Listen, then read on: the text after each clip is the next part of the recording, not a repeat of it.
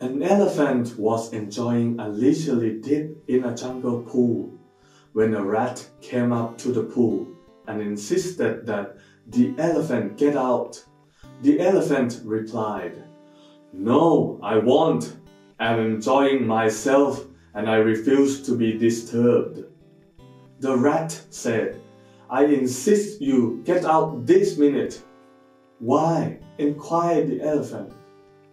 I shall tell you that only after you are out of the pool, responded the rat. Then I won't get out, said the elephant. But he eventually gave in, lumbered out of the pool, and stood before the rat.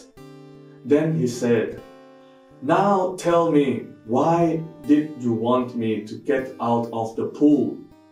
The rat answered, To check if you were wearing my swimming trunks. I have taken this story from the Song of the Birds by Father Anthony de Mello, a well-known Jesuit priest from India. Father de Mello concludes this story by reminding us that it is infinitely easier for an elephant to get into the trunks of a rat than God to fit into our scholarly notions of Him.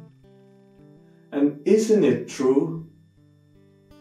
As human beings, we think we know most things, but in reality, we know very little. We believe we understand everything, but little do we realize that most things are beyond our understanding. We are surrounded by the mysteries of life. Where did we come from? Life after death and why do natural disasters happen?